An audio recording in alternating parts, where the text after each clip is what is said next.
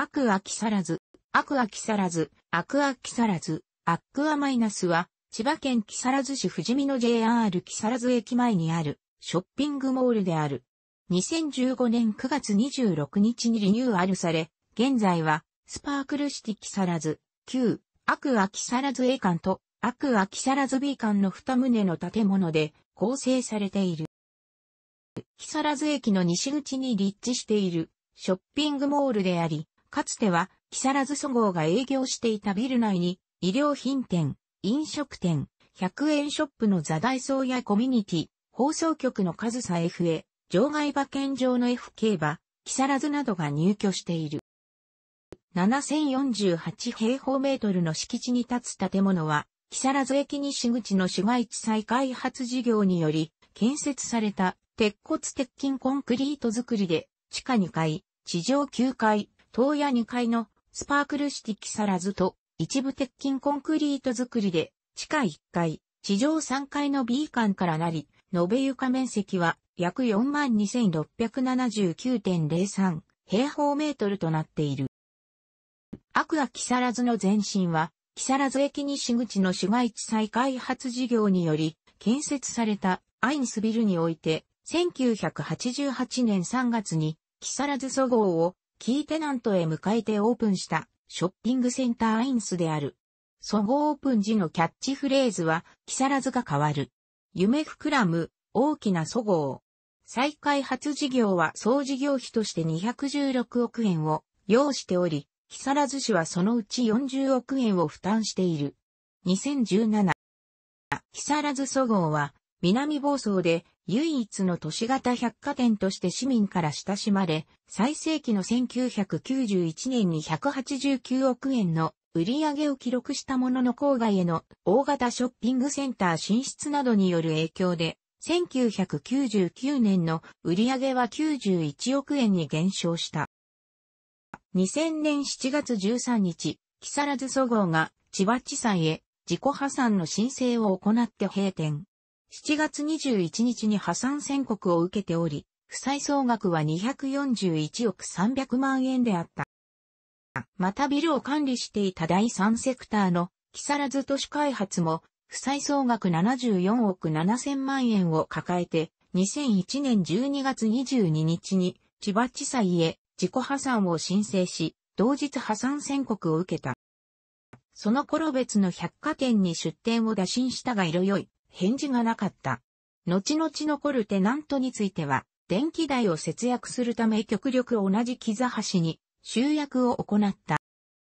撤去費がかかるため、そごうのロゴは閉店から2年程度は外壁に残されたままとなっていた。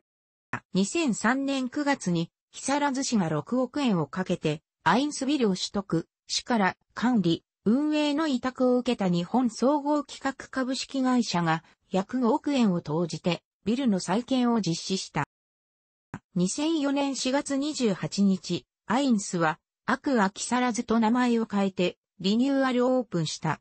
新たなキーテナントには激安スーパーの丸 A を A 館1階に迎え入れ、また A 館6階には24時間営業の時間消費型会員制複合レジャー施設であるジャジクラブ100 A 館7階には100円ショップのザダイソーがオープンしている。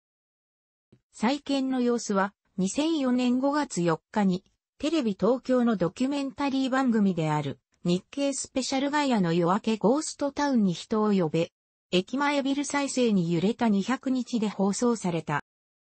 しかし、新たなキーテナントの丸エも2009年4月22日に閉店してしまう。またビルの管理、運営を委託されていた日本総合企画は2009年5月18日に東京地裁へ民事再生手続きの開始を申し立て倒産し、負債総額は約150億円であった。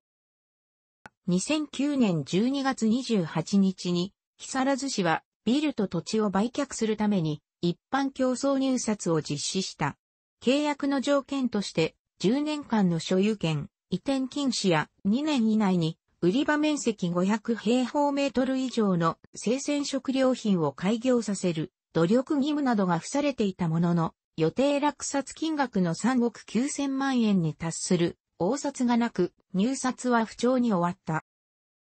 市は、入札で最高値を提示した有限会社金剛さんと、個別に交渉し、入札価格に1000万円を足した2億9000万円で売却する随意契約を締結した。有限会社金剛さんは大阪市中央区に本社を置く不動産会社であり、同じく大阪市中央区に本社を置き、不動産再生事業などを手掛ける株式会社日本リートの子会社である。売却に伴い、B 館3階の木更津市役所駅前連絡所と木更津駅前ホールは2010年9月に閉鎖された。